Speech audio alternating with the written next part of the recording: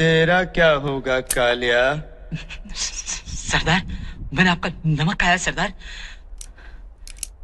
अब गोली खा।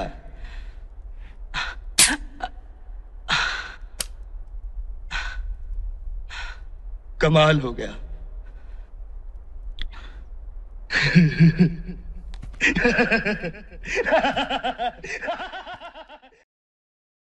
हेलो हाय नमस्ते, आप सभी का स्वागत है ऑन दी अनस्टॉपेबल्स आपको जान के कुछ तो आश्चर्य हुआ होगा और आश्चर्य इस बात का रहा होगा कि मास्टर ये किस लाइन में आ गए?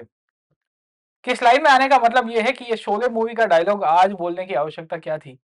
और आज उसको हमारे लेक्चर वीडियो में इंक्लूड करने की क्या ज़रूरत हो गई थी? तो दोस्तों, आप में से जो लोग हिस्ट्री को जानते हैं और जो लोग हिस्ट्री को समझते हैं और हिस्ट्री को पढ़ते हैं, खास करके हिस्ट्री के विद्यार्थी के रूप में एक चीज़ बहुत ही सिग्निफिकेंट है, वो है आज का दिन है 12 मार्च।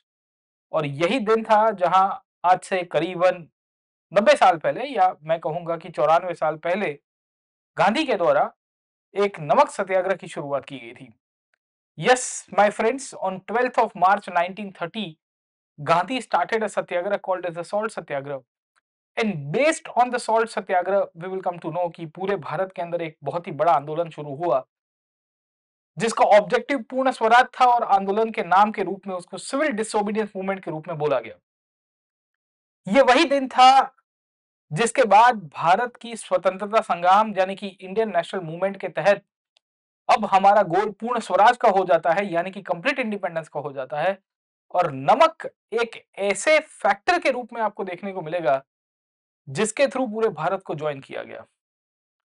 कहानी यहाँ से ही शुरू होती है और यहाँ पे आके ही अटकेगी। कि शोले मूवी का डायलॉग हमारे इसके साथ क्यों रेलेवेंस है? तो जैसे ही गब्बर ने अपने ही जो वफादार था कालिया, जिसको डाकू के रूप में कंसिडर किया गया, और कालिया को कहा कि, तब तेरा क्या होगा? क्योंकि मैं तुम्हें मारने वाला हूँ। तो कालिया ने कहा कि, मैंने आपका नमक खाया है, सरदार। ब्रिटिश भी जब भारत के अंदर पॉलिटिकल और इकोनॉमिक कंसोलिडेशन करते हैं as a part of colonisation तो ब्रिटिश हुकूमत भी भारत के अंदर एक ऐसे वर्ग का निर्माण करती है जो नमक के पॉइंट ऑफ़ व्यू से, यानी कि ब्रिटिश के प्रति लॉयल्टी रखने की कोशिश करेगी। फ़ूड एक ऐसी कॉमोडिटी थी in the part of colonisation where they try to built up the whole halo in the myth of colonisation based on certain commodities that were to be taxed based on certain commodities food commodities that were to be monopolise and based on the monopolization and the taxation, the colonization was justified कि हम आपके ऊपर शासन कर रहे हैं। गांधी के द्वारा 12 मार्च 1930 के दिन जिस प्रकार के आंदोलन की शुरुआत हुई इस आंदोलन ने भारत की आज़ादी के जो पूरी की पूरी अभी तक की जो भूमिका थी उसके अंदर एक नई ऊर्जा प्राप्त की। और आज के क्लास के अंदर यही मुद्दे के ऊपर चर्चा करेंगे कि गांधी के द्वारा नमक को ही क्यों सेंट्रलाइज्ड आइडिया के रूप में यूज़ किया जाता है। खैर, नमक का उपयोग क्यों हुआ, कैसे हुआ, उसके पहले मैं आपको इनवाइट करना चाहूँगा अंदर एकेडमिक प्लेटफॉर्म जहाँ मैं आपको लाइव क्लासेस कंडक्ट कराऊँगा history GS history optional including art and culture के लिए, और मेरे साथी एजुकेटर्स आपको कॉम्प्रिहेंसिव कोर्सेज के अंदर हेल्प करेंगे। ये कोर्सेज के द्वारा आप अपनी यूपीएससी सीएससी का सपना पूर्ण कर सकते हो और अभी 50 percent off plus six month extension चल रहा है। If you use the code P N live G हाँ दोस्तों, हमारी 16 तारीख को, यानी कि 16 मार्च को नई बैचेस भी आ रही है। आप ज़रूर से उपयोग करिए और ये कोड को ज़रूर से उपयोग करेगा पी एन लाइव को। हमारी बाइलिंगुअल बैचेस है टॉप एजुकेटर्स के द्वारा history polity geography environment economy art and culture science and tech CSAT सब कुछ कॉम्प्रिहेंसिवली मिलेगा। हमारी इंग्लिश एक्सक्लूसिव बैचेस भी चलती है। हमेशा ध्यान रखिए कि आप ये code P N live use करिए फॉर टेकिंग द सब्सक्रिप्शन खैर वापिस आते हैं 12 मार्च 1930 के दिन कि इस दिन की सिग्निफिकेंस क्या थी? और मैंने आपको बताया कि 12 मार्च 1930 के दिन ही गांधी के द्वारा नमक सत्याग्रह की शुरुआत की गई। सवाल इस बात के ऊपर आता है कि गांधी जी क्यों नमक सत्याग्रह की शुरुआत करेंगे? सिविल डिसोबीडियंस ही करना था तो सिविल डिसोबीडियंस के भाग के रूप में Gandhi would have broken any other law, Gandhi के द्वारा बहुत से कानून तोड़े जा सकते थे और इस कानूनों को तोड़ के Gandhi would have actually started the civil disobedience. नाम ही है सिविल डिसोबीडियंस, सविनय अवज्ञा आंदोलन। अगर हम जिसे सविनय अवज्ञा आंदोलन के रूप में पहचानते हैं, सिविल डिसोबीडियंस के रूप में पहचानते हैं तो सिविलियन वे के अंदर लॉ ब्रेकिंग करना, डिसोबे करना ब्रिटिश रूल और अथॉरिटी को, it could have been done right from Ahmedabad itself but Gandhi actually traveled almost 200 to 300 kilometers from Ahmedabad to Dandi करीबन अपने 78 फॉलोअर्स के साथ गांधी पूरा का पूरा एक कोस्टल रूट को ट्रैवल करते हैं। और करते करते करते करते finally we will come to know कि on six of April 1930 6 April 1930 के दिन Gandhi ji we will see कि नमक सत्याग्रह को एक नए दिशा देंगे जहाँ वो pinch of salt pinch of salt यानी कि नमक की एक छोटी सी टुकड़ी विल सी की हाथ में उठाएँगे। और उठाने के बाद कहेंगे कि this symbolises the breaking of law this symbolises the breaking of the mighty British empire this symbolises the monopoly that the British impose over us with respect to manufacturing of salt and this also symbolises the liberation of the Indian masses who oppressed from generation to generation with respect to the economic political and social aspects of life तो इस basis के ऊपर से जब हम लोग नमक सत्याग्रह की बात करते हैं तो इसकी बहुत ही अपनी सिग्निफिकेंस है। और यही नमक सत्याग्रह अल्टीमेटली अगर आप देखिएगा तो पूरे भारत के अंदर एक्सपांड होते होते 6 अप्रैल 1930 के बाद पूरे भारत में एक नए नाम से पहचाना गया, जिसे हम लोग कहते हैं सिविल डिसोबीडियंस मूवमेंट तो दोस्तों, हमें इस तरह से इसको देखना है कि क्या सिविल डिसोबीडियंस मूवमेंट के लिए गांधी जी नमक के लिए कोई और वस्तु का उपयोग कर सकते थे कि नहीं कर सकते थे? और नमक को लेके वी कि ब्रिटिश ईस्ट इंडिया कंपनी की या ब्रिटिश सरकार की, ब्रिटिश हुकूमत की पॉलिसीज़ क्या हुआ करती थी? तो देखिए कि 6 मार्च या 6 अप्रैल 1930 के दिन नमक का कानून जब गांधी ने तोड़ा, वो तो शुरुआत थी। 12 मार्च 1930 के दिन विल सी की गांधी जी अहमदाबाद से सूरत की तरफ़ दांडी के पास जाएँगे और वहाँ पे जाके नमक कानून का तोड़ने की प्रक्रिया करते हैं। तो हमें ऐतिहासिक रूप में पहली कहानी तो ये पता होनी चाहिए कि what is the significance of salt in the Indian history sir okay secondly हमको ये भी देखना है कि इंडियन नेशनल मूवमेंट के अंदर गांधी क्यों कोई आंदोलन दूसरी तरह से नहीं करते और नमक का कानून तोड़ने का ही आंदोलन क्यों करेंगे सर ओके हमें थोड़ी बहुत ये भी चीज़ें पता होनी चाहिए कि ऐतिहासिक रूप में सॉल्ट को लेके ब्रिटिश गवर्नर्स के द्वारा, ब्रिटिश ऑफिशियल्स के द्वारा किस प्रकार का कार्य किया गया था। अब देखिए कि salt has traditionally been a monopolise item by the state right from the ancient period मैं ये क्यों कह रहा हूँ? क्योंकि अगर आप कौटिल्य को पढ़ोगे, अर्थशास्त्र को पढ़ोगे, गुप्ता पीरियड के अंतर्गत कामांडक की नीति सार पढ़ोगे हर एक शासकों के द्वारा सॉल्ट के ऊपर मोनोपलाइजेशन किया गया है। ऐसा नहीं कि मोनोपलाइजेशन नहीं है। सॉल्ट के ऊपर मोनोपलाइजेशन का करने का मतलब यह है कि state use to control the salt resources नमक के ऊपर की जो संशोधन है, जो रिसोर्सेज है, वो स्टेट के अंडर में आती थी। स्टेट उसको पब्लिकली डिस्ट्रीब्यूट करती थी वाया द ओन चैनल और उससे दो पैसे स्टेट को रेवेन्यू के रूप में आते थे, पर वो इनह्यूमन नहीं था। उसके ऊपर एक्सेस टैक्सेस नहीं लिए जाते थे। पर जैसे जैसे ब्रिटिश हुकूमत सत्ता के ऊपर आई, वहाँ हमको पता चलता है कि नमक के ऊपर इन्होंने कंट्रोल करने की शुरुआत की। तो traditionally salt has been seen as a power और salt has been seen as a point of revenue for the state okay और इसी बेसिस के रूप में जितने भी यूरोपियंस आए, इन्होंने इसके ऊपर अपना होल्ड बनाने की कोशिश की। बंगाल की बात करेंगे तो 1579 के अंदर जब पोर्चुगीज हुगली के ऊपर पहुँचे बालासोर हुगली और उसके आजू बाजू वाले रीजन में अपना होल्ड बनाया तो हमें पता चलता है कि उन्होंने सॉल्ट की मोनोपलाइजेशन की थी और सॉल्ट की ट्रेडिंग के ऊपर ये लोग पैसा कमाते थे। ग्रेजुअली सेवनटीन तक आते आते हमें ब्रिटिश की भी कहानी देखने को मिलती है, क्योंकि आज के क्लास के अंदर हमें ब्रिटिश आस्पेक्ट के अंदर ही देखना है। जब अंग्रेज़ों की बात करेंगे, अंग्रेज़ हुकूमत की बात करेंगे तो सत्रह और सत्रह तक आते आते प्लासी और बक्सर किया जाता है by the British East India company जब प्लासी और बक्सर किया गया, उसके बाद की कहानी पूरी तरह से बदलती है। और हमें यह पता चलता है कि ब्रिटिश ईस्ट इंडिया कंपनी के द्वारा नमक के ऊपर मोनोपलाइजेशन किया गया था, यहाँ के व्यापार के ऊपर, यहाँ के उत्पादन के ऊपर, इसको किस तरह से बेचना है, किसे बेचना है, कितनी क्वांटिटी में उत्पादन करना है, कितना नहीं करना है, सब कुछ रॉबर्ट क्लाइव के द्वारा उस पीरियड के अंदर भी एस्टेब्लिश किया गया। ये वो दौर है जब बैटल ऑफ़ प्लासी के जस्ट बाद की घटनाएँ आपको देखने को मिलती है। खैर, नमक को लेकर बहुत सारा प्राइवेट ट्रेडिंग भी होता रहा और इसी का ही परिणाम हमें देखने को मिलता है कि सॉल्ट मैन्युफैक्चरिंग के ऊपर ब्रिटिश सरकार चाहती थी कि उसका होल्ड रहे। दो कहानी इसके यहाँ से मिलेगी। जो लोकल सॉल्ट मैन्युफैक्चरिंग है, उसके ऊपर होल्ड रहेगा तो उससे इनको रेवेन्यू मिलती रहेगी मोनोपलाइजेशन होगा इंडिया के मैन्युफैक्चरर्स की हालत खराब हो जाएगी। अल्टीमेटली जो ब्रिटिश कॉलोनियल ऑब्जेक्टिव है that is the plundering of economy वो फुलफिल हो पाएगा। दूसरे ब्रिटिश चाहते ये भी थे कि इंग्लैंड का सॉल्ट भारत में बेचा जाए। क्यों? क्योंकि इंग्लैंड के अंदर भी, क्योंकि इट्स एन आइलैंड कंट्री वहाँ पे भी नमक का उत्पादन बहुत अच्छी खासी मात्रा में हो रहा है। तो क्या इंग्लिश में बनता हुआ इंग्लैंड में बनता हुआ लिवरपूल का सॉल्ट भारत के बाजारों में बेचेंगे? तो कैसा रहेगा सर? ओके, और शायद तक इसी की कहानी हमको यहाँ से देखने को मिलती है कि जब हम लोग वी विल सी कि जो ब्रिटिश मोनोपली की बात करेंगे, उसमें ब्रिटिश सरकार के कुछ लोग चाहते थे कि इंग्लैंड का नमक भारत के अंदर बेचा जाए। Sir, getting point, okay? दूसरी कहानी हमको ये भी देखने को मिल रही है कि इंडिया का नमक जो है विदेश के बाजारों में ना बेचा जाए उसके ऊपर भी इन्होंने ध्यान रखा है सर ओके? ओवरऑल हमें ये पता चलेगा कि ईस्ट इंडिया कंपनी के जो स्पेशल अधिकारी हुआ करते थे उन्होंने नमक के ऊपर से बहुत पैसे कमाए।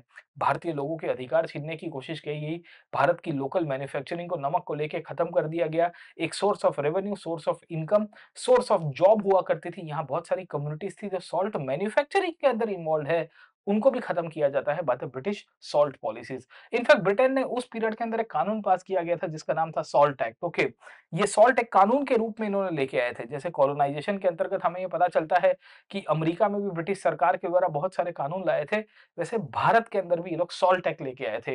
ये सॉल्ट एक्ट एक तरह से रेसिस एक्ट था, जहाँ ये बोला जाता है कि Indian should not be allowed to harvest the salt. British की हुकूमत जो थी भारत के अंदर वो नमक का कानून पास करती है और कानून पास करने के बाद क्या कहती है कि भारतीय लोगों को अपना खुद का नमक नहीं बनाना चाहिए। वो हार्वेस्टिंग नहीं करेंगे। अरे भाई कोस्टल एरिया है, यहाँ नेचुरली प्रोड्यूस हो जाता है, वाटर इवोपरेट होता है तो भी खारा पट्टा और खारी ज़मीन के अंदर आपको नमक का उत्पादन होते हुए देखने को मिलेगा। बट इंडियंस को मना किया गया, क्यों? क्योंकि हमें कहा जाता था कि हम ब्रिटेन से आया हुआ, लिवरपूल से आया हुआ, ब्रिटेन के समुद्र कांठों से बना हुआ जो भी नमक है उसका उपयोग करेंगे भारत के अंदर। क्यों? क्योंकि इसी से ही वील सी की उनकी मोनोपोली, उनकी इकोनॉमी को फ़ायदा मिलेगा। तो इस तरह से नमक एक ऐसी प्रकार की टूल के रूप में निकल के आती है under the British economic policies, the greater colonial policies जिसके कारण भारतीयों को नमक के प्रति और नमक एक ऐसी कॉमोडिटी भी थी जिसके कारण भारतीय लोगों को लग रहा था कि हमारे साथ कुछ ज़्यादा ही अन्याय हो रहा है। आप देखिए ब्रिटेन ने हमारे साथ अन्याय किया कपड़ों को लेके। हम लोग को कहा गया कि तुमको इंग्लैंड का कपड़ा पहनना पड़ेगा, हमने कोई विरोध नहीं किया। हमें कहा गया कि तुम्हें इंग्लैंड से आई हुई रेलवे की पटरी के ऊपर चलना पड़ेगा, हमने कोई विरोध नहीं किया। हमने कहा गया कि भाई हम विदेश से लेके बहुत सारी खाने-पीने की वस्तुएँ तुम्हें देंगे, तुम्हें महँगे दाम के ऊपर खरीदनी पड़ेगी, हमने कोई विरोध नहीं किया। पर नमक जैसी चीज़ जो एकदम नेचुरली अवेलेबल है, इतने बड़े समुद्र किनारा है, इनफैक्ट इंटरनली भी बहुत सारी जगहों के ऊपर यहाँ पे उसकी हार्वेस्टिंग होती थी, उसको तुमने रोक दिया जस्ट बिकॉज़ तुम्हें इसकी आर्थिक रूप से लाभ हो रहा है sir, my point okay.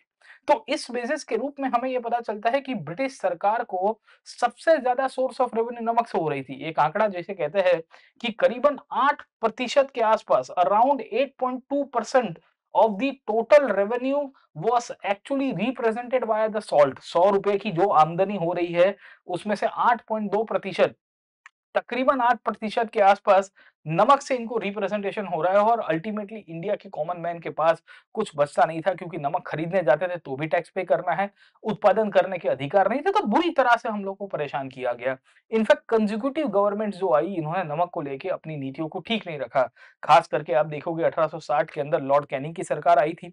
Lord Canning वही जो 1857 के अंदर भारत का गवर्नर भी था जब विद्रोह भी हुआ, उसके बाद भी वाइसरॉय के रूप में काम रहा। इसने सॉल्ट की ड्यूटीज़ रेस कर दी थी। इनफैक्ट 1870s तक आते-आते लॉर्ड लिटन जिसके समय पे वर्नेकुलर प्रेस एक्ट भी आता है, उसने भी सॉल्ट को लेके एक स्टैंडर्डाइज़ेशन करने की कोशिश की। स्टैंडर्डाइज़ेशन का मतलब ये है कि he was able to make sure कि पूरे भारत में नमक को लेके कॉमन ड्यूटी रहे। क्योंकि भारत के कुछ राज्यों में 6% ड्यूटी थी, कुछ राज्यों में 7% थी, कुछ राज्यों में 8% थी। जैसे वन नेशन वन टैक्स का कंसेप्ट है, जीएसटी का कांसेप्ट है, उस पीरियड में सॉल्ट को लेके ये करने की कोशिश करेंगे। इनफैक्ट लि रिपन के समय पे थोड़ी बहुत सॉल्ट के ऊपर टैक्स कम करने की कोशिश की, पर भारतीयों को नमन एक ऐसी ऑब्जेक्टिव के रूप में आपको देखने को मिलता है, जहाँ कंटीन्यूअसली शोषण होता रहा और इसी का ही कारण था कि Indian started raising the issue with respect to salt. नमक एक ऐसी चीज़ थी जहाँ हमको बिल्कुल एक प्रकार की हम लोग कह सकते हैं कि रेज़िस्टेंस करने की हमको ज़रूरत हो गई क्योंकि हमें लग रहा था कि हमारे साथ अन्याय हो रहा है।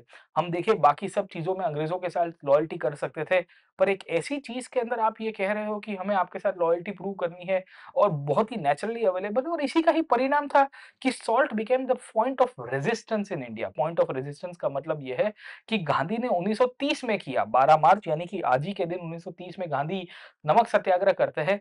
उससे कई सौ साल पहले भारत के अंदर नमक को लेकर एजुटेशन हुए थे। तो ब्रिटिश के द्वारा जिस प्रकार के सॉल्ट एक्ट पास किए गए और सॉल्ट को इन्होंने जिस तरह से मोनोप्लाइज किया था, क्या तुम्हें नहीं लगता है कि भारतीय लोग जवाब देंगे? भारतीय लोगों ने जवाब दिया। ये जवाब देने की प्रक्रिया 12 मार्च 1930 के दिन नमक सत्याग्रह के रूप में तब तो निकल के आई, पर उसके भी पहले Indian had started already giving in the form of the reactions. ये रिएक्शन अलग-अलग तरह से थे। एजिटेशन थे, रायट्स थे, रिबेलियंस थे। जैसे 1817 के अंदर पैका रिबेलियन हुआ उड़ीसा के अंदर। शायद तक आप में से बहुत कम लोगों को पता होगा। बक्सी जगबंधु पईका मिलिशिया के लीडर हुआ करते थे और जहाँ खुर्दा नाम का रजवाड़ा आया करता था। 1817 तक आते-आते ब्रिटिश ने जब उड़ीसा के ऊपर अपना होल्ड कंट्रोल एस्टेब्लिश किया, खुर्दा स्टेट को बेदखल कर दिया जाता है और वहाँ की जो पईक्स यानी कि जो सेना थी, वो भी पूरी तरह से जॉबलेस हो गई। उनकी विद्रोह के अंदर एक कारण नमक का था क्योंकि नमक की मैन्युफैक्चरिंग और मोनोपोली जो लोकल स्टेट के हाथ में थी वो खत्म करके ब्रिटिश के हाथ में चली गई जो मैंने बताया अभी थोड़ी देर पहले कि क्या हुआ था सर ओके तो उसके कारण इंडियंस ने रिएक्ट किया इसी कंटिन्यूएशन के अंतर्गत 1840 के अंदर खास करके 1844 के अंदर सूरत के अंदर सॉल्ट एजिटेशन होता है। सॉल्टिजेशन क्यों हुआ था? क्योंकि नमक के ऊपर ड्यूटी बढ़ाने की कोशिश की गई थी। 1-1 रुपया ड्यूटी बढ़ाने की कोशिश की गई थी। ऐसा नमक जो प्राकृतिक रूप में अवेलेबल है, ऑलमोस्ट फ्री के रेट में अवेलेबल है, उसके ऊपर आप इतना सारा पैसा कलेक्ट कर रहे हो तो what does that signify? That signifies कि आप कितना एक्सप्लॉइटेटिव कैरेक्टर के रूप में भारत में नमक को लेके अपनी पॉलिसीज़ बना रहे थे। शायद इसी का ही परिणाम था कि भारत में जितनी भी पॉलिटिकल ऑर्गेनाइजेशन बनी, चाहे कि कांग्रेस बनी या कांग्रेस के सिवाय और भी बॉडीज़ बनती है। जैसे 1850 के अंदर एक संस्था बनती है British Indian association British Indian association Radhakant Dev और देवेंद्रनाथ टैगोर सॉरी द्वारकानाथ टैगोर जैसे लीडर्स के द्वारा बनती है। इनफैक्ट इन्होंने 1853 के अंदर सॉल्ट ड्यूटी के अबॉलिशन को लेके मांग की थी और कहा था कि भाई ये नमक को लेके आप जो कानून बना रहे हो, इतने सारे टैक्सेस लागू कर रहे हो इंडिया का नमक महँगा हो रहा है और विदेश से आए हुए नमक को आप हमारे ऊपर बेच रहे हो, वो सिस्टम बंद करनी चाहिए। अठारह के अंतर्गत अगर आपको थोड़ी बहुत जानकारी होगी तो जब कांग्रेस की स्थापना हुई तो इस स्थापना के दौरान दादा भाई नवरोजी और गोपाल कृष्ण गोखले, दोनों के दोनों मॉडरेट लीडर्स हुआ करते थे। इन्होंने नमक के टैक्स को लेके और सॉल्ट के ऊपर जो टैक्सेस लगाए जा रहे थे, उसके विरोध के अंदर बात की। दादा भाई नवरोजी सॉल्ट के इशू को उठाते अपनी किताब poverty and un British rule in India के अंदर। और वो बताने की कोशिश करेंगे कि भाई साहब, ये नमक को लेके आपने कानून पास किया है, उसका वेर विभेर होना चाहिए। Throughout the Indian national movement will come to know कि इंडियंस ने नमक को लेके सवाल उठाया है। ये नमक को लेके 1905 तक आते आते इंग्लैंड से जो नमक आ रहा था, उसका बॉयकॉट करने की भी हमने कोशिश की। 1905 में एक मूवमेंट हुआ था, जिसका नाम था स्वदेशी मूवमेंट बंगाल के विभाजन को लेकर ये मूवमेंट हुआ था, क्योंकि लॉर्ड कर्जन जब तब का वाइसरॉय था, उसने बंगाल को पार्टीशन करवा दिया था। इस पार्टीशन के सामने भी हमें ये पता चलता है कि नमक को लेके एक बॉयकॉट हुआ था, और भारतीयों ने कहा था कि भाई लिवरपूल से आने वाला जो नमक है इंग्लैंड से आने वाला जो नमक है, उसका हम लोग विरोध करेंगे और लोकल मैन्युफैक्चरिंग को जन्म देंगे। खैर 1900 1905 तक आते-आते भारत में जो नमक आंदोलन था, यह नमक के प्रति जो भावना थी वो पूरी तरह से बदल गई। क्यों? क्योंकि और भी मूवमेंट्स हुए, और भी मुद्दे निकल के आए, नॉन कॉपरेशन मूवमेंट हुआ, रॉलेट का सत्याग्रह हुआ, भारत के अंदर खिलाफत को लेके आंदोलन हुआ। 1920, 22, 25 के दशक तक आते-आते हमें ये भी पता चल रहा है कि भारत की आज़ादी के आंदोलन के अंदर नमक एक कॉमोडिटी के रूप में भुला दिया गया था। क्यों भुला दिया गया था? क्योंकि देर और अदर इश्यूज़ जैसे कनेक्टिविटी लाने की कोशिश की गई। जैसे खादी के थ्रू लाने की कोशिश की गई, बॉयकॉट के थ्रू लाने की कोशिश की गई, नेशनल एजुकेशन के थ्रू भारतीयों को एक करने की कोशिश की गई। पर कहीं ना कहीं एक पॉइंट ऑफ़ फैक्टर यूनिफाइंग बाकी था, जिसके कारण जो इंडियन नेशनल मूवमेंट 1920s में चल रहा था, उसके अंदर एक राजकीय शून्य अवकाश यानी कि वैक्यूम निकल के आया। यही वैक्यूम को एड्रेस करवाने के लिए गांधी 1930 तक आते-आते माहौल को बदलते हैं। 1928-29 तक आते-आते भारत में साइमन कमीशन की एंट्री हो चुकी है। साइमन कमीशन के विरुद्ध में भारत के अंदर जो नेशनलिस्ट लीडर्स हुआ करते थे, इन सब के द्वारा मोतीलाल नेहरू की अध्यक्षता के अंदर एक कमेटी बनी जिसे हम लोग कहते हैं नेहरू कमेटी ये नेहरू कमेटी के अंतर्गत भारतीय लोगों ने डोमिनेंस स्टेटस एक साल के अंदर सरकार के सामने रखने की मांग की। खैर ब्रिटिश हुकूमत उस पीरियड के अंदर इरविन के अंडर में आती थी और उन्होंने उसको नकार दिया।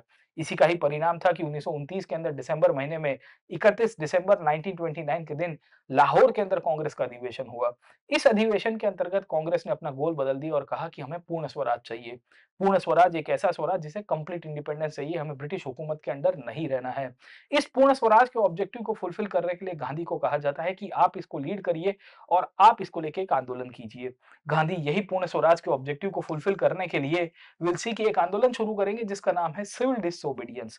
सवाल ये आता है कि सिविल डिसोबीडियंस करना है सविनय कानून भंग करना है, कानून को तोड़ना है विनयता के साथ शांतिप्रिय रूप से, तो कौन-सा कानून तोड़ेंगे? ऐसा कानून जो अहमदाबाद में बैठे-बैठे हम लोग हवा में 2-4 बार कट्टे फायर कर दे तो वो भी एक तरह का कानून तोड़ना ही होगा। आर्म्स एक्ट का वायलेशन भी कानून तोड़ना होगा। सेक्शन 144 को ब्रेकअप करना, वो भी एक तरह से अ, कानून तोड़ने की प्रक्रिया होगी। सरकार के सामने प्रेस के अंदर कुछ उल्टा-सुल्टा लिख दोगे, यानी कि प्रेस एक्ट है, वो भी कानून तोड़ना होगा। गांधी सोच रहे थे कि मुझे इस बार एक ऐसा कानून तोड़ना है, जिससे पूर्ण स्वराज का विचार कंप्लीट हो पाए। एक ऐसा कानून तोड़ना है जिसमें पूरे भारत के अंदर लोग जुड़ पाए। एक ऐसा कानून तोड़ना है जो हिंदू, मुस्लिम, सिख, पारसी, ईसाई, जैन कोई भी समुदाय धर्म से बिलोंग करता है उसके लिए यूनिफॉर्मली उसको असेस कर पाए और उसको इमोशनली कलेक्ट कर पाए। एक ऐसा कानून तोड़ना है जो उत्तर भारत से लेकर दक्षिण भारत तक, पूर्व भारत से लेकर पश्चिम भारत तक हर एक व्यक्ति को डायरेक्टली इमोशनली कनेक्ट कर पाए। एक ऐसा कानून तोड़ना है जो ग्रामीण विस्तार में रहने वाला किसान है या शहरों के अंदर रहने वाला कोई बड़ा उद्योगपति है, उसको डायरेक्टली हर्ट पाए, उसकी पॉकेट को हट पाए, उसको कहीं ना कहीं सिंबॉलिकली पता होना चाहिए कि ये कौन से कानून की बात कर रहे हैं और शायद इसी का ही परिणाम था कि गांधी डिसाइड करते हैं कि हमें एक ऐसे कानून तोड़ना चाहिए जो पूरे भारत में यूनिफ़ॉर्मली लागू हो। एक ऐसा कानून तोड़ना चाहिए, जो पूरे भारत को कनेक्ट हो पाए और शायद इसी का ही परिणाम था कि गांधी जी ने सिविल डिसोबीडियंस करने से पहले वाइसरो को एक प्रकार की हिंट दे दी थी। हिंट में यही कहा था कि, भाई देखिए, मैं आपको एक 11 पॉइंट का लेटर लिख के देता हूँ। 11 या 31 मार्च 1930 के दिन गांधी जी ने वाइसरॉय को इरविन को लास्ट में लेटर लिखा था और इसमें यह बताया था कि आप मेरी बातें मान लीजिए। मैं नमक को लेके एक आंदोलन नहीं करूँगा अगर आप मेरे 11 सूत्रीय मांग स्वीकार देंगे ये 11 सूत्रीय मांगों के अंतर्गत भी इन्होंने सॉल्ट टैक्स की अबोलिशमेंट को लेके बात की थी, सॉल्ट की मोनोपली तोड़ने की बात की थी। खैर इन सब बेसिस के अंतर्गत ये कुछ नहीं हुआ और फाइनली वी विल सी कि गांधी डिसाइड करते हैं कि अगर सरकार मानने के लिए तैयार नहीं है, तो मैं फिर नमक का ही कानून तोड़ूँगा और ये कानून अहमदाबाद में बैठ के भी मैं तोड़ सकता था। खैर अहमदाबाद में लोकल मैन्युफैक्चरिंग ऑफ़ सॉल्ट नहीं हो सकता है, पर कहीं से भी नमक की मोनोपोली तोड़ने के लिए गांधी को एक कहानी चाहिए थी, पर गांधी ने प्लान किया कि मैं नमक जहाँ मैन्युफैक्चर हो रहा है वहाँ पे जाके तोड़ूँगा। ऐसी जगह पे तोड़ूँगा जहाँ पे उसकी लोकल मैन्युफैक्चरिंग और वहाँ जगह जाने के लिए अहमदाबाद से मैं जब अपने समर्थकों के साथ चलूँगा, तो ऑलमोस्ट एक टूर भी हो जाएगी और इस टूर की इम्प्लीकेशंस ये होगी कि ग्रामीण विस्तार के अंदर जो आइडियल ऑफ़ स्वराज है, पूर्ण स्वराज का जो विचार है, वो भी मैं पहुँचा दूँगा। शायद इसी का ही आउटकम था कि गांधी डिसाइड करते हैं कि मैं लोगों को इग्नाइट करने के लिए, लोगों को मोटिवेट करने के लिए नमक का सत्याग्रह सबसे आइडियल रहेगा। और इसी बेसिस के रूप में गांधी जी ने प्लान किया कि let me make a, a, a system through which I can break up the law और एक ऐसी चीज़ है जिसको मैं तोड़ूँगा जिसके कारण पूरे मासेस यूनाइट होंगे। करीबन 12 मार्च 1930 का दिन था। महाभिनिष्कार्म कहते हैं गांधी के जीवन के अंदर के महाभिनिष्काम कर्म बुद्ध के जीवन के साथ भी जुड़ा हुआ था, क्योंकि बुद्ध से जब संसार छोड़ के चले थे। गांधी ने भी 12 मार्च 1930 के दिन नमक के कानून तोड़ने के लिए अपना एक आधार बनाया। अगले दिन, यानी कि 11 मार्च 1930 के दिन गांधी ने अपने समर्थकों को साबरमती आश्रम के अंदर एड्रेस किया। ये एड्रेस करते समय गांधी ने कहा कि there is no other article like salt outside water by taxing which the government can reach the starving millions, the sick, the maimed and the utterly helpless. It is the most inhumane poll tax the ingenuity of a man can devise. आप सोच सकते हो कि इस ब्रह्मांड के अंदर बहुत सारे वस्तुओं के ऊपर टैक्सेस लागू किए जा सकते हैं, बहुत सारी वस्तुओं के ऊपर मोनोपोलाइजेशन किया जा सकता है, पर ब्रिटिश ने जिस तरह से अपनी एक एक प्रकार की बहादुरी दिखाई थी, एक प्रकार की मानसिकता दिखाई थी, जिसके थ्रू इन्होंने सिंबॉलिकली इंडियंस को कैद कर रखा है। क्यों? क्योंकि भाई मैंने आपका नमक खाया है। नमक was a tool of loyalty. नमक was a tool of favouritism for the British. नमक खाने वाले व्यक्ति को कहा जाता था कि अब देखिए तुम अंग्रेज़ों के अधीन में हो और नमक इंडियंस को इमोशनली बॉन्ड करके रखता था। हर छोटी से छोटी वस्तुओं के अंदर, इतनी छोटी-सी वस्तुओं के ऊपर आप जब टैक्सेस लगा रहे हो, उससे आपके पावर की लेजिटिमेसी होती है। गांधी चाहते थे कि लोगों की इमोशनल अपील निकल के आए। ब्रिटिश रूल के सामने लोग आवाज़ उठाए और शायद इसी का ही परिणाम था कि गांधी जी ने वी विल सी कि नमक को एक लॉयल्टी के रूप में म्यूचुअल ट्रस्ट के अगेंस्ट में यूज़ किया और कहा कि भाई देखो breaking of the salt law means I am also breaking the loyalty towards the British. ये स्वराज के आइडियल के साथ जुड़ा हुआ है। आप अमीर हो या गरीब हो सबको नमक के साथ कहानी पता थी और नमक महँगा आता था ब्रिटिश काल में, सस्ता नहीं होता था। उस पीरियड के अंदर वी विल सी कि इसकी कंसेप्ट पूरे भारत में लागू की जा सकती है। ये नॉन डिविजिव था। इसमें जाति, धर्म, समाज, संप्रदाय हर एक व्यक्ति को नमक की आवश्यकता थी और हर एक व्यक्ति को पता था कि ये नमक महँगा क्यों हो रहा है? क्योंकि नमक इम्पोर्टेड होता था या नमक के ऊपर यहाँ लोकल मैन्युफैक्चरिंग के ऊपर अंग्रेज़ों की मोनोपोली थी। वो टैक्सेस कलेक्ट करके, कर करके इनफैक्ट उसको महँगा कर रहे थे। तो इंडिया के सफरिंग के साथ जुड़ा हुआ था। नमक डेफिशिएंसी यानी कि सॉल्ट डेफिशिएंसी अल्टीमेटली जो आयोडीन डेफिशिएंसी के साथ जुड़ा हुआ है, उसके कारण इंडियंस को बहुत सारे ग्रोथ प्रॉब्लम, स्टंटिंग का प्रॉब्लम हो रहा था, ओरल न्यूट्रिशन का प्रॉब्लम हो रहा था, उसको भी आइडेंटिफाई करने की कोशिश की। तो गांधी को लग रहा था कि ये एक ऐसी प्रोडक्ट है जो cutting across classes, religious, geographical, linguistic हर एक व्यक्ति को कनेक्ट कर पाता है और इमोशनली लोगों को जोड़ पाता है। शायद इसी का ही परिणाम था कि गांधी को लग रहा था कि नमक के थ्रू हम बहुत सारी चीज़ें कर सकते हैं। भारतीयों को मोटिवेट कर सकते हैं कि भाई देखिए, नमक का उत्पादन करके आप सोर्स ऑफ़ इनकम क्रिएट कर सकते हो साइकोलॉजिकली क्योंकि अभी तक नमक के कानून के ऊपर अंग्रेज़ों की मोनोपोली है। शायद ये आंदोलन करने के बाद आपको सेल्फ हेल्प मिल जाएगी। आप खुद की मोनोपोली या खुद की प्रोडक्शन करके खुद की सोर्स ऑफ़ इनकम क्रिएट कर सकते हो। नमक एक ऐसी वस्तु हुआ करती थी जो इसके पहले जितने भी आंदोलन थे उसकी लिमिटेशंस को तोड़ती है क्योंकि जब गांधी किसान सत्याग्रह करते थे तो उसमें खाली किसान जोड़ पाते थे गांधी जब मजदूरों का सत्याग्रह करते थे तो खाली मजदूरों को जोड़ पाते थे गांधी अल्टीमेटली आप देखेंगे तो जो डिप्रेस क्लासेस के लिए कोई भी सत्याग्रह किए तो वो वर्ग विशेष समुदाय हो जाता था।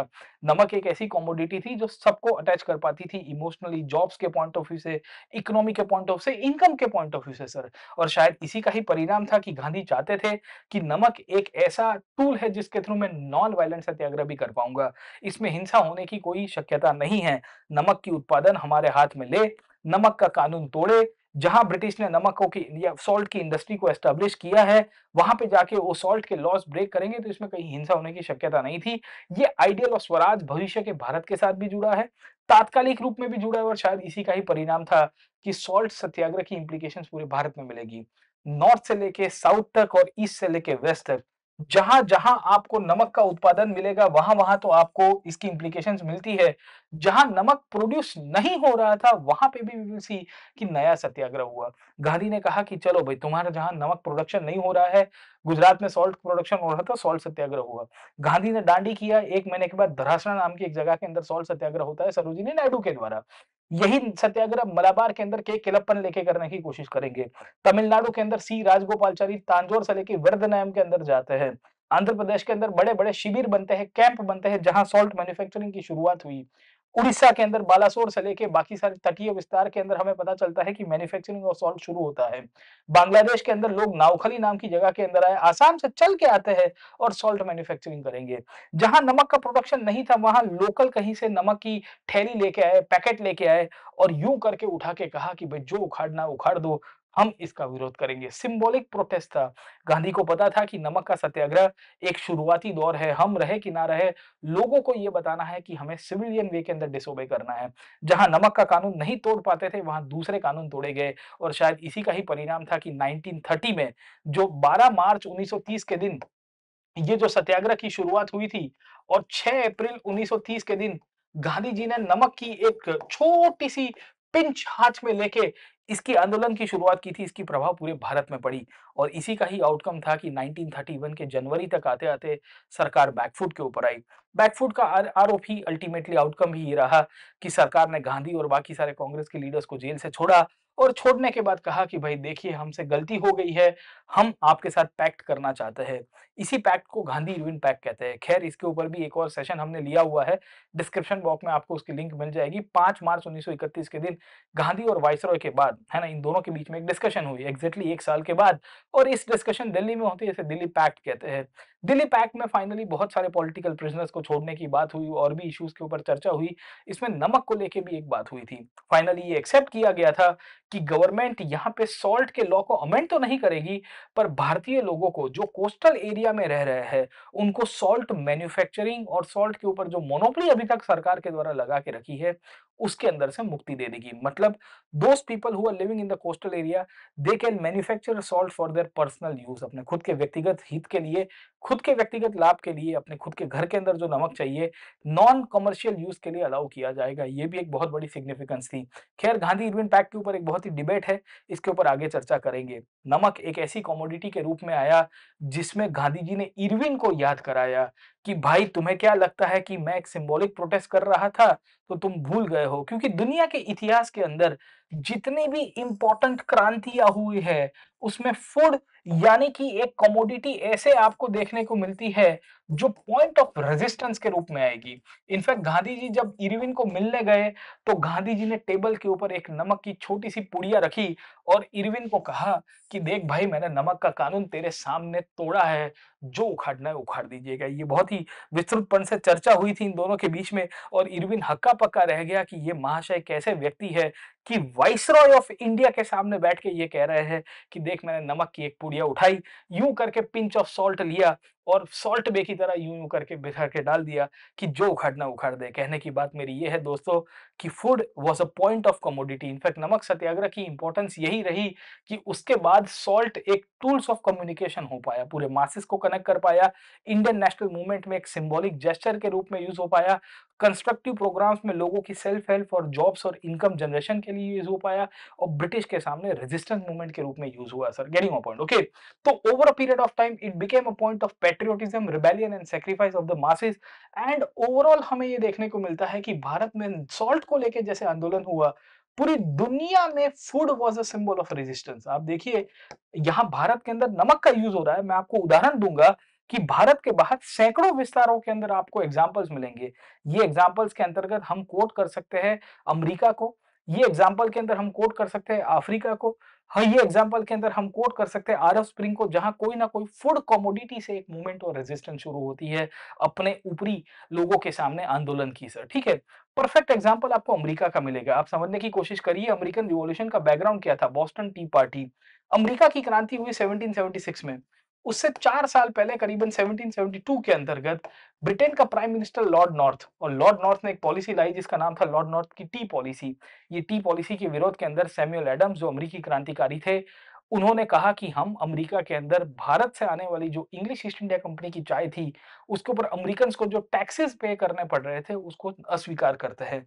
और इसी का ही आउटकम था कि बॉस्टन नाम के पोर्ट के अंदर जब इंग्लैंड से या इंडिया से इंग्लैंड और इंग्लैंड से वी विल सी की जो चाय आई थी, उस चाय को पानी में डाल दिया गया था and it led to the American revolution Boston tea party was actually the commodity और tea was a commodity was a point of resistance that led to the American independence movement जैसे भारत में नमक बना वहाँ पे चाय बनती है। वही कहानी आपको यहाँ पे देखने को मिलती है with respect to rice and the seeds की। आपको पता होगा कि अफ्रीका के अंदर एक स्लेव रूट चलता था स्लेव ट्रेड का। अफ्रीका से अमरीका अमरीका से इंग्लैंड और वी विल सी कि एक ट्रांस अटलांटिक स्लेव ट्रेड चलता था। वहाँ सैकड़ों अफ्रीकन अमेरिकन को अफ्रीकन अमेरिकन यानी कि अफ्रीकन ओरिजिन लोगों को अमेरिका में लेके जाया जाता था और मजदूरी कराई जाती थी स्लेवरी के रूप में। ये जितने भी अफ्रीकन लोग जहाज़ में बैठ के एटीन के दौरान या उसके पहले के पीछर के दौरान जब अमरीका के अंदर जाया करते थे, ये लोग एक राइस यानी कि चावल का एक जो दाना है अपने बालों में बांटते थे। इसके बांधने का कारण क्या था कि it was a point of resistance ये पूरी दुनिया को दिखाना चाह रहे थे कि हम अपना घर छोड़ के नहीं जाना चाहते, हमें मजदूरी करवाने के लिए स्लेवरी के लिए लेके लेके लेके जाया जा रहा है। In fact food became the point of resistance even by Nelson Mandela आपको पता होगा कि 1948 के बाद साउथ अफ्रीका के अंदर at that time apartheid movement की शुरुआत हुई थी। अपार्थिड यानी कि अफ्रीका के अंतर्गत जो सरकार थी, वो जाति या वंश आधारित भेदभाव कर रही थी, नस्ल आधारित भेदभाव कर रही थी। वहाँ अफ्रीका के अंदर जो ब्लैक पॉपुलेशन थी और व्हाइट पॉपुलेशन थी, उनके बीच में भेदभाव चलता रहा। मंडेला ने अफ्रीकन नेशनल कांग्रेस के अंतर्गत जब आंदोलन किए तो उनको जेल में डाल दिया गया था। कुछ सालों तक हाउस अरेस्ट भी रखा। जब वो जेल में थे तो अफ्रीका के अंदर व्हाइट कैदियों को, यानी कि जो व्हाइट प्रिजनर्स थे या जो भी जेल के अंदर अपराधी हुआ करते थे, उनको अलग प्रकार का खाना मिलता था जो ब्लैक अफ्रीकन कैदी थे, जो जेल के अंदर थे, उनको अलग प्रकार का खाना दिया जाता था। मंडेला ने कहा कि, भाई, खाना देना है तो ये तो ह्यूमन राइट्स का सवाल है। You have to give better treatment and equal treatment for offers. Getting point. Okay?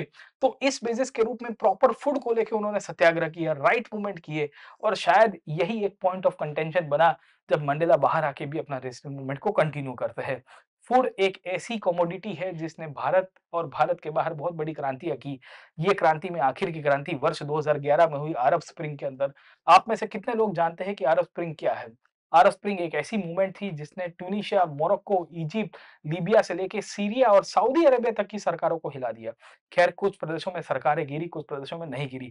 आप में से कितने लोग चाहते हैं या कितने लोग जानते हैं कि अरब स्प्रिंग की जो बैकग्राउंड है वो फ़ूड की यानी कि एप्पल की कमोडिटी से शुरू होती है? जी हाँ दोस्तों Arab spring was a popular movement that was started by the people against the resistance of the oppressive regimes of the northern African countries. So that include Tunisia, this includes Morocco, this includes Libya, this includes over a period of time Egypt, this includes multiple countries across an arc of Arab speaking pen Arabian peninsula as well okay और ये are spring की शुरुआत Tunisia में जब हुई तो Tunisia में एक व्यापारी हुआ करते थे जिनका नाम था मोहम्मद बेजादी। मोहम्मद बेजादी ने इस पीरियड के अंदर अपनी जो एप्पल की और फ्रूट्स की शॉप थी वो चला रहे थे और वो जो फ्रूट्स की शॉप चला रहे थे तो डेली लोकल कॉरपोरेशन वाले लोकल पुलिस वाले लोकल गवर्नमेंट ऑफिशियल्स आके उनको लग रहा था कि मैं इससे फ्री में खाना लेके जाऊँगा मैं इससे फ्री में एप्पल लेके जाऊँगा और अपनी दुकान चलाता रहूँगा सर ओके तो वो मोहम्मद बजाजी ने कहा कि मैं नहीं स्वीकारूँगा भाई मैं ना सहता तुम गलत कर रहे हो, तुम स्टेट हो तो उसका मतलब ये नहीं है कि तुम गरीब का शोषण करते रहोगे और फोकट में, मुफ़्त के अंदर खाते रहोगे और उसी का ही परिणाम था उन्होंने चिंगारी भड़काई and the rest is history. अच्छे-अच्छे देशों की सरकारें चली गई है। कहने की मतलब ये है कि food has traditionally been a commodity across the world जिसके कारण क्रांति आई और इसके बारे में 1820s के अंदर 1820-1825 के अंदर चर्चा हुई थी।